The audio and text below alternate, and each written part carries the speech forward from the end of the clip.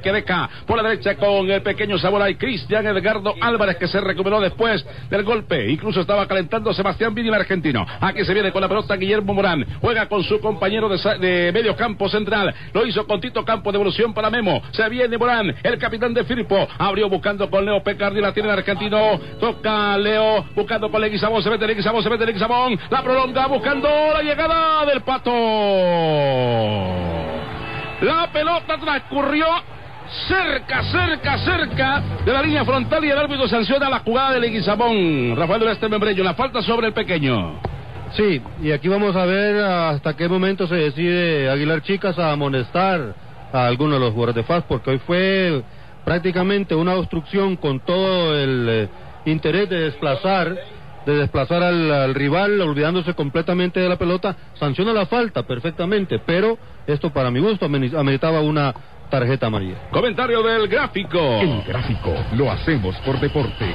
Atención, hay peligro, peligro, peligro, peligro. Aproximadamente unos 20 metros de distancia de la portería defendida de Adolfo Humberto Fito Menéndez. Ahí se viene el cobro.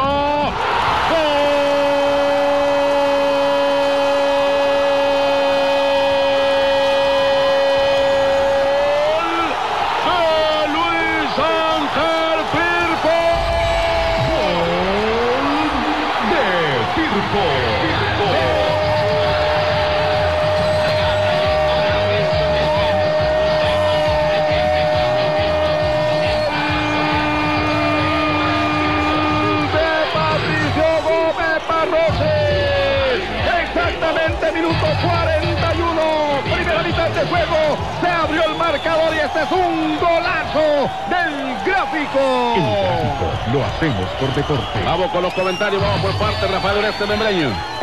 Bueno, aquí le vamos a poner eh, un 10 al Pato que el cobro del tiro libre y aprovecha el hueco que dejó la barrera. Entonces la barrera para mí mal ubicada Segundo, también responsabilidad de Fito, que no reacciona a tiempo y también él tiene parte de la responsabilidad en formar la barrera también. Así que no sé qué le reclama Fito a sus compañeros y el que forma la barrera es él, a menos que sus compañeros no le hayan hecho caso a las indicaciones y dejaron el hueco por donde lo puso el Pato Barroche el disparo que pegó en el poste y se fue hacia adentro de la portería, licenciado. Y cuando viene a reaccionar, licenciado, Fito de la pelota ya está adentro.